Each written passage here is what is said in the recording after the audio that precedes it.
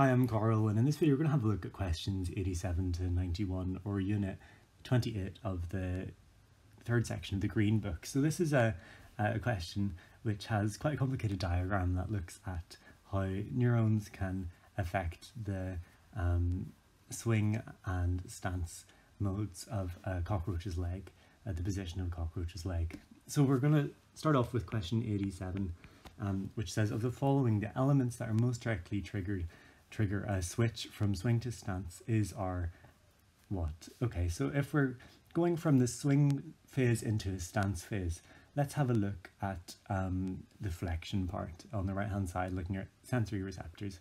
We can see that in the flexion phase, um, you get excitation of these hair receptors. And these hair receptors uh, go on through motor neuron R and split into two different um, pathways, U and Q. Q goes on to inhibit the flexor burst generator, which goes on to inhibit further flexion.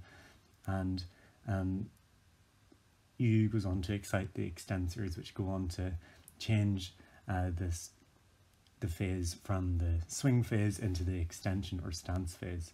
Um, so the hair receptors are the most responsible for this. We can rule out the other ones. Um, so let's let's go through them. So we've already said the answer is B. A with the cuticle stress receptors. So the cuticle stress receptors are found at the bottom of the diagram and they're excited during the extension phase. And they go on to excite further extension and go on to inhibit any flexion from happening. So it's not going to be that um, because it's already in the stance phase. It's not going to be causing a switch from one to the other. If we look at C, then it says about the flexors, which go on to um, cause the flexion which go on to excite the hair receptors by the mode that I spoke about earlier. But it's not as direct, and this question does say the most direct trigger for a switch from swing to stance.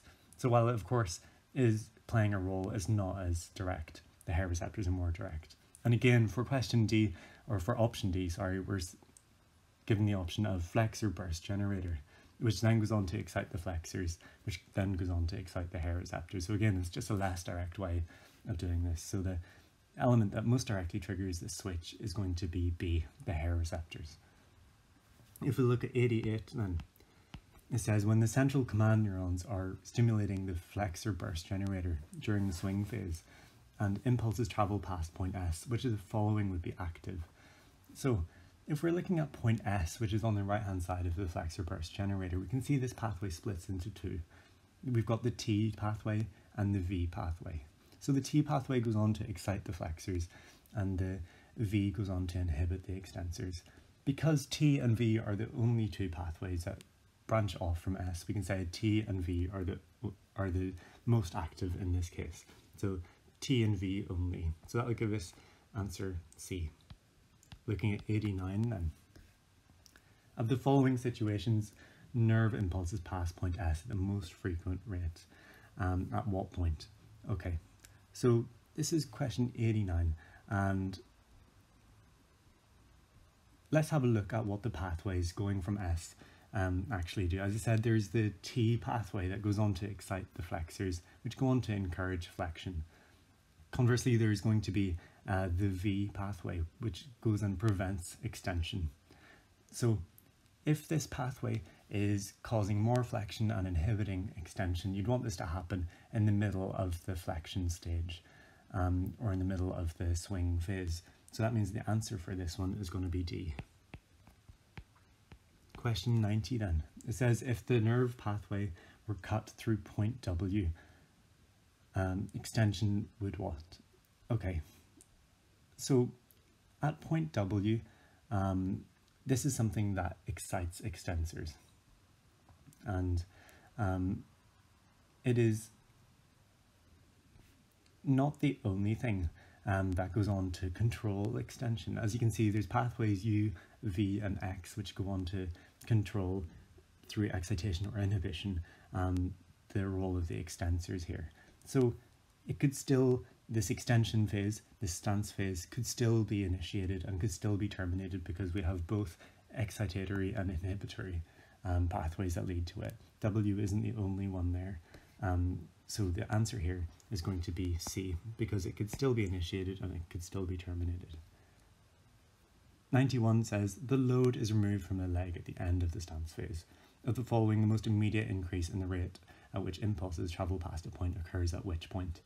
Okay, so for this one, we're going to have a look at each of them in turn. At um, point X, we can see that this goes on to um, control extension. It goes on to um, excite extension. And it says the load is removed from a leg at the end of the stance phase. Um, you wouldn't see an increase in the rate here because um, you're going to encourage extension here. And if a load is being removed from the leg, um, you're going to have uh, less um, less uh, excitation of the hair receptors, meaning that um, X couldn't be the right answer here because of this removal of the load. If we look at B, then talks about Y, which goes on to inhibit the flexor burst generator. Um, this, of course, is important in making sure that flexion doesn't happen, but if a load is being removed, you'd expect flexion to uh, occur. So it's not going to be Y either. If we're looking at C, then it says the U um, pathway. So this goes on to encourage, again, extension, which isn't what we'd expect if a load was removed um, from the from the leg, which means that it's not going to be option C, which leaves us with option D, um, which is pathway V. And this goes on to inhibit extension, which is something we would expect. We'd expect this pathway to be more active. If a load is taken away, it would encourage flexion. And to do that, we have to inhibit extension.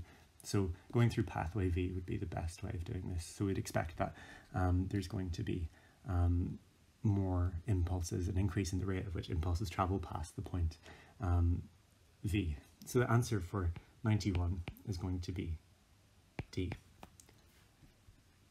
I understand that this um, figure could be a little bit complicated, but taking it bit by bit, I think it, it it's not too bad if you if you try and break it down a little bit. So I hope that helped